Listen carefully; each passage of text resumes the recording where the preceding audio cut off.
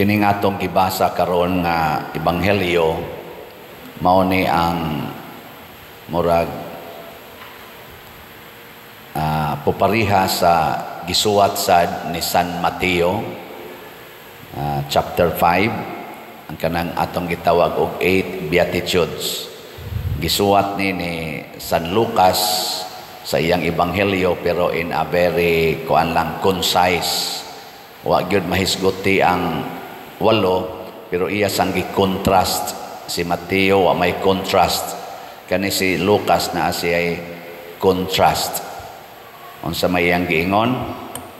Ingon siya bulahan kamong mga kabos pero alaot kamong mga dato.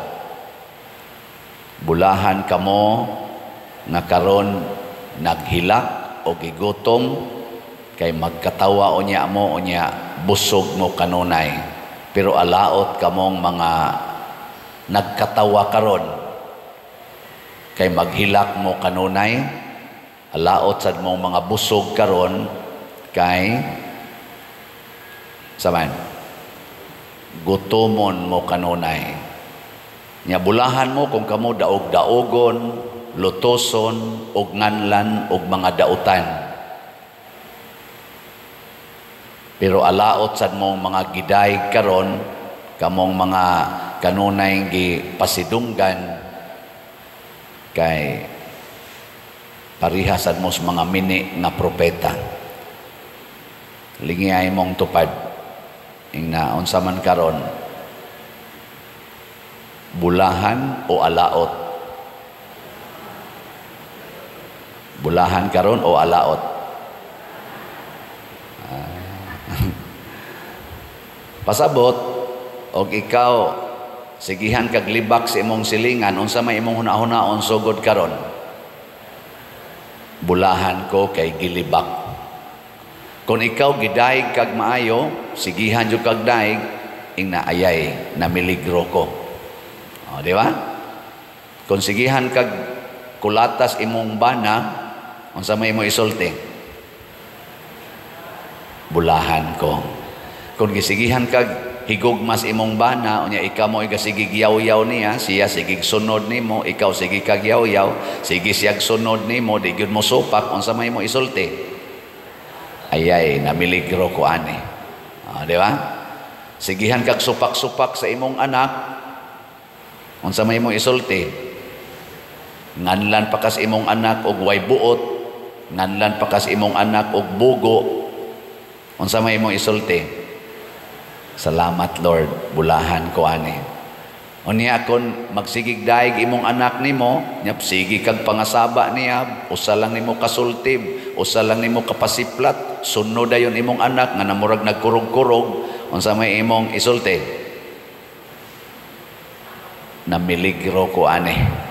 Oh, di ba? Kung daghan kay kag pagkaon, Sige lang mong yabos basura kay di gyud mahurot ang inyong gikaon kay sobra kaayo lami pag yung kaistanan. Unsa may imong isulti? Miligro ko ani. Gutomo na kaon ay permi. Pero wa kay hapit gikaon, inom lang kag tubig init, butangag asin. Mao na lay imong pamahaw, paniod to, nya kaog gamay tinughong ini ka gabi eh. Unsa may imong isulti? Bulahan ko ani. O, di ba? Zaman. Muuyon mo ana. Nanaong ay. Ako sad, kung daghan kayong mamalit og slat, ang samay akong isulti, bulahan sila nga namalit og slat. Oh, di ba? Unya wa mo palit og slat, namiligro sila. namiligro kay daw kay kwarta o di ba? Ano ora na ako kay ako may inyong pare. Muna si San Pablo diri sa atong unang pagbasa niingon siya kung ako pa ninyo unsay estados imong kinabuhi karon ayaw na lang kaayo nag-usba kung wa ka maminyo ay pagsigig pangitag bana or asawa pero mangita sa kagyugban na og asawa, wa man ka makasa. Nya kamusang na mga asawa na mga bana ay na lang sad mo paghunahuna nga mahimo mong ulitaw og dalaga puy ina lang sad na. Ingon siya. Kamusang na ay wa pa kayo gipamalit ay na lang kay mo pamalit og mga butang. Kay mo abot ang panahon matud pa niya og hapit na hapit na. Nakadtong na ay gipalit mura ra sa pinalit kadtong nagkatawa Mura sa magkatawa. Kadtong naghilak. Mura guwa maghilak. Kadtong minyo. Mura sa dili minyo. Kadtong na balay. Mura sa dili tag-iyas ilang balay. O kanus am ni mahitabo. Matod pa ni San Pablo. Ningon siya, kay kining kalibutan na karon hapit na matapos. Giling niya imong tupad. Ing na matapos ra ng imong kalibutan. Ing na ba? Ing na hapit na ka. Hapit na. Nganong hapit man? Ah, tanawa ra guning ato mga edad. Ako, mo sa uno na ko karong kuan. November 24, kung makaabot pa. Ang akong gipangmisahan karon kasagaran, naagyos mga edad 50, 40, ngari sa 60. Oh, niya ako, sa isinta naman ko. Unsa man ni dugay pa ni o hapit na? Hmm, dugay. Ang akong gipangmisahan ba nga mga nangamatay naasa 40, 50 na agid kadaghanan o kaning 60 nga mga kanabang mga brakita bas edad. Tagsara kay na mga 90 kay nahurot naman sa tong 90 no. o niya, unsa man ni hapit na o dugay pa? Kamuno ay gyud ilad-ilara inyong kaugalingon. Layo na kay ng 20 katuig ani oy. Kanirong nagwali. Kanang 20 katuig ikan karon. Layo ra kay na. Doon na nay mahitabo ani. Onya, dugay day ng 20 katuig. Ako, ni 20 na ko katuig sa pagkapari atong June 22. 2020 karon tuiga. Paminaw nako gikas pagka-ordain nako hangtod karon ni 20 ko katuig mura lang murag kagahapon ra ba? Bako pa matang giordinahan ato brad no? Abot mi sa akong mga classmate ba sa bitaw. Ya, 20 naman dita katuig. Mura magwap atay agi, mura mag mura mag kanang bag-o pa lang kayo. Nya karon kamo diha Ubay-ubay naman ninyo mga tiwasonon sa gnaong. Butangan mo 20 katuig ikan karon nagtuo dai mo makasimba pa mo. Ubay-ubay na. Sos kana mga naong ninyo. Ubay-ubay na ninyo ang hapit na eh. Niya karon kay miubos magmaayo ang kanabitang patay sa edad tungod sa atong gipangkaon kuno og sa ato bitang environment nga polluted na kaayo. O kaning atong lifestyle karon nga hapit din at katug kay saba kayong palibot. Unya og di sad magsaba. Sige sa kagtan-aw ng cellphone dugay na kay kakatug. So ang atong resting o ang atong kaning activity murag ko anak kayo nag-introduce gyud ba? Og mga sakit mga sakit. Uh, unsa may resulta ang mga 30 ang edad karon 20 ang edad. Wa na nagdialysis ng uban. Ang uban nag-maintain na og kaning paras kolesterol, paras high blood, ang uban gani di nakakita, baga na kay kuan mga teenager pa lang. Kay nangadaot na ang lawas tungod aning lifestyle. Oh, di masamot na gyud na duol na kayo. Nya punan pa aning climate change nga mukalitlag baha nya lunop dayon. Di ra bagid lunop nga tagatuhod? Lapaw tao mo nang daghang yung nangamatay. Nya niya paning ni ang kanirong gubat. Sige yung gubat ana pero tindaghana sang patay ana. Ni apagining mga sakit nga manggawas pre atong COVID-19 ni ana sa nirong impacts. Nga impas na kita ani ana daghan kay mga sakit karong manggawas nga murag mukalit lang ba? Nya patay ra ba gyud oh kana lain na sana. Unsa man magdugay pa katani hapit na. Pero ay kabalaka kay tuwa may giandam nga lugar nga dili matapos. Gaandam ang Ginoo og lugar nga dili matapos. Ang atong hari nga mao si Kristo, the King of Kings and the Lord of Lords, nagandam og gingharian. Kita iya tang gitawag og anak nga babay, the bride of this king. Ang atong bridegroom mao si Kristo. Kita nga sakop sa simbahan kita ang gitawag og asawa ni Kristo.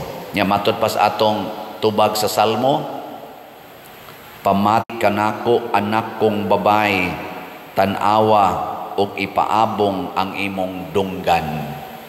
Nya unsa man first stanza, pamati o anak kong babay og tanawa, ipaabong ang imong dunggan, hikalinti ang imong lungsod ug ang balay sa imong amahan sa ingon gitinguha sa hari ang imong katahom kay siya man ang imong Ginoo o kinahanglan simbahon mo siya. Mao na ang atong hari mao si Kristo na ibog kay nato. Ug mao nang iyatang gitagaan ining mga sakramento sa simbahan kay mao nay makapalimpyo nato. Nagkinahanglan ba na siya og taas na kinabuhi? Wa na.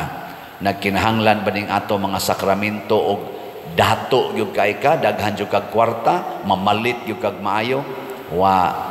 Kana lang na ang pagpabunyag wa naman na magkinahanglan og mag-ihaw pag kag baboy mag-asal pag ka diha.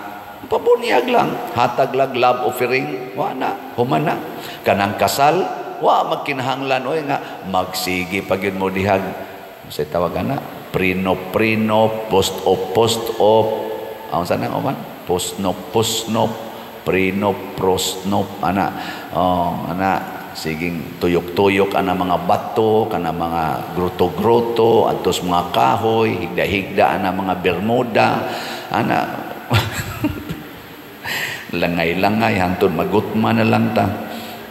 Alipay kay ko gahapon katong gikasal na to tulo ka buok sa Chardel dire Ah, pag-abot dito sa reception, wada nga tig 5 minutos, kao dayon.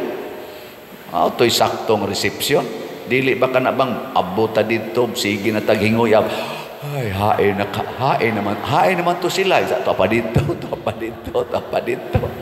Inig-abot pa yun, hala, linya o sa, kay mag-entourage na sa, ana, ikaw mag-entourage, ah, magsayaw o sa, taod-taod, anang naangkuan ka sa titawagan ng mga envelope na sudla nato disgrasya pa tawo patay kaon taod pag yung kanito agahapon kaon nagmayo ah, kaon ako lagi ni isulti ha kay si Cap Richard birthday man sa niya gahapon ah, kaon sige kaon pagkabusog na gistanan ingon din oh sige mag sa ni tawagan kanang sayaw-sayaw na ta nya taod og kanang kuan ah sige kag taod dito nanugab na ka Ana, ana nindot kayo kuan. Lagsi kayo. Ara mo nas pag-arrange god. Ang ako lang ba hapit na ta matapos. Ayaw na pagsigig pangambisyon. Kay kung mamatay na ta, ang atong katawa mahunong na. Ang atong hilak mahunong na. Kanang atong balay ato na nang biyaan kanang imong mga pinalit dili na ikay tag-iya ana kanang yuta nga imong pinalit kanang sakyanan nga imong pinalit kanang mga gadgets nga imong pinalit inighunong sa imong ginhawa di na ikay tag-iya ana kanang imong bana nga imong giminyuan inighunong sa ginhawa ana din ana nimo bana ang amang sagmudog kanya dito sa lugnanan Imo maging siyang iksahag bato. Sige, pahuway sa dayo.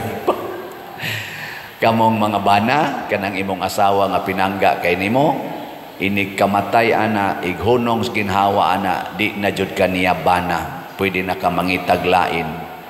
Ana, akong pari, inyo kong angkon-angkonon nga inyong paris priest, dinhi, Oy, inig kamatay na ko karong gabi eh, din ajud ko paris priest biyaan ko gining parokyaha kanang kolekta nato din he. As apil na mga slat-slat. Di na gid ako. Awa man sana nako ang kuna. Ana no? Hasta ning atong kolekta wa man sana nako ang kuna. Ang ako ra jong giangkon nga ako pari ko sa Ginoo. Kining akong pagkapari padayon gid ni hangtod sa katapusan ug way katapusan. Kamusad kita sad in general anak kita sa Ginoo dili ta mosunod anang yawa. Kanang pagkambisyon nga madato ta yawanon kanang attachment nato sa mga tao o sa mga kalipay aning kalibutana yawanon na mao na bulahan ang mga kabos. Kay ang kabos nagpractice na og letting go. Letting go detachment. Bulahan kamong gidaog-daog kay kanang gidaog-daog nagpractice na na og letting go of honor and power din his kalibutan.